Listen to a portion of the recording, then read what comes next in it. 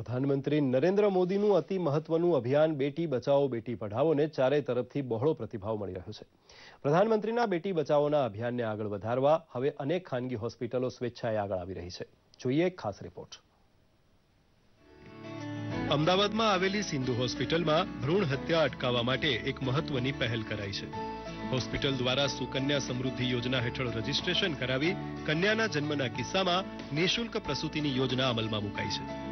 આ રજીસ્ટ્રેશન હેઠળ વીસ છોકરાઓના જન્મ બાદ પ્રથમ બાળકીનો જન્મ થતા હોસ્પિટલમાં ખુશીની લાગણી ફેલાઈ ગઈ હતી.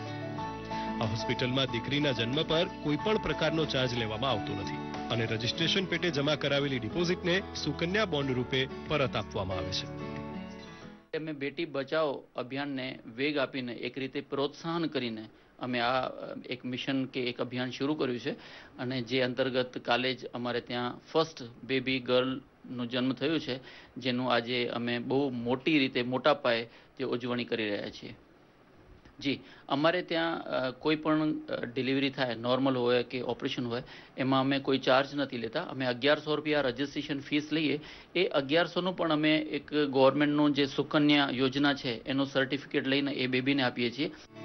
સિંધુ હોસ્પિટલમાં વીસ છોકરાઓ ઉપર એક બાળકીનો જન્મ થતા તેને વધાવી લેવા માટે એક સમાજ સેવકે તેની ઉજવણીની સમગ્ર વ્યવસ્થા કરી હતી અને બાળકીના પરિવારના લોકો તથા હોસ્પિટલના સ્ટાફ સાથે કેક પણ કાપી હતી બાળકીના જન્મને વધાવી લેતા સૌએ ખુશી વ્યક્ત કરી હતી डॉक्टर साहब ने ये अभियान चालू किया था बेटी बचाओ अभियान था तो मुझे बहुत खुशी हुई थी भी ये बात सुनते हुए उसी टाइम मैंने डॉक्टर साहब को बोला था भी जिस दिन भी आपके हॉस्पिटल में पहली बेबी होगी उसका जितना भी सेलिब्रेशन का खर्चा होगा वो सब मैं गहन करूंगा और मैं बहुत बड़ी खुशी से मुझे ये आज ये कहते हुए गर्व हो रहा है कि मैं आज पहली बेबी का खर्चा ले रहा हूँ આ નવજાત બાળકીના પરિવારમાં ખુશીની લાગણી ફેલાઈ ગઈ છે બાળકીના દાદી અને તેના પિતાનો હરખ પણ સમાતો ન હતો ત્યારે હોસ્પિટલમાં બાળકીના જન્મની આ રીતે ઉજવણી થતા તેમના પરિવાર માટે આ એક સુખદ સંભાળણું બની રહ્યું હતું સમગ્ર પરિવારે સિંધુ હોસ્પિટલના સ્ટાફનો આભાર વ્યક્ત કર્યો હતો બેટી બચાવો છે તો આપણે બેટી જોતી હતી એવું નહીં કે બેટી નથી જોતી.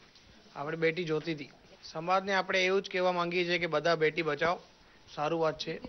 સરસ લાગ્યો સારું સેલિબ્રેટ કર્યું છે અહીંયા. સિંધુ હોસ્પિટલમાં સારી સુવિધા મળી છે. સારો સપોર્ટ આપ્યો છે. બેટી બચાવો અભિયાન સારું કેન્દ્ર કાઢ્યું છે સમાજવાળાએ.